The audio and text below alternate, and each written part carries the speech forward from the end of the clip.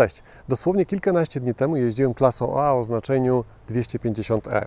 I przyznam się, że spodziewałem się dużo po tym samochodzie, bo uważam, że to właśnie w kompakcie, czyli w samochodzie względnie lekkim, takie rozwiązanie ma najwięcej sensu. I w sumie, jak widzieliście pewnie w odpowiednim filmie, nie przeliczyłem się, byłem zadowolony, więc zapytałem, zwracając tamten samochód, zapytałem w Mercedesie e, o ich najlepiej sprzedającego się plugina. Cokolwiek to będzie.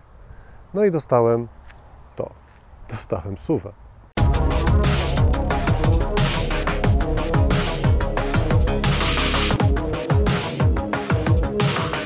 Parametry Hybrid Plugin zwykle robią wrażenie, przynajmniej na papierze. W końcu mają dwa silniki, więc moc i moment obrotowy połączone mogą zadziwić. Przykładowo dzisiejszy bohater ma pod maską dwulitrówkę turbo, która ma 211 e, koni, 350 Nm, czyli no ok, podobnie jak w wersji oznaczonej GLC 200. Ale jest jeszcze 120-konny silnik elektryczny, który daje 440 Nm, czyli w sumie uzyskujemy, uwaga, 320 koni i 700 Nm. Tutaj trzeba od razu przyznać, że rozmiar ma znaczenie. Od rana jeżdżę na samym prądzie, mam chwilowe spalanie 0,0, jeśli chodzi o paliwo. Przyjechałem już 29 km, cały czas na prądzie i mam jeszcze 12 km zasięgu.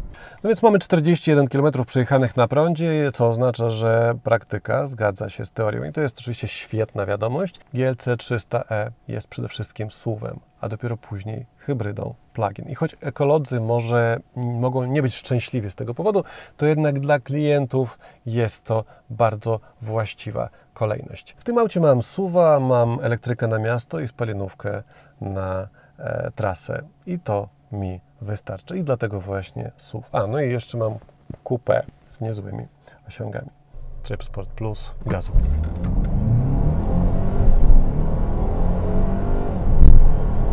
No i mam dwa pomiary. Pierwszy mówi, że sprint do setki trwa 5,96 sekundy, a drugi, że 5,90. Więc możemy przyznać, że wynik 5,9 z rozładowaną baterią jest w miarę wiarygodny i powtarzalny.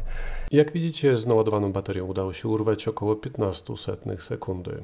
Różnica niemalże żadna. A jak to auto jeździ? Czekałem z nagraniem tego fragmentu bardzo długo, bo z perspektywy własnego podwórka wszystko wyglądało ładnie i pięknie.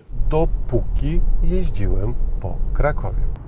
Po 66 km dojechałem do dwupasmówki, średnie spalanie 5,7. Na baterii miałem zasięg, jeśli pamiętacie, 20 km. Jednak w sumie dzięki napędowi hybrydowemu udało się przyjechać na prądzie praktycznie dwa razy tyle.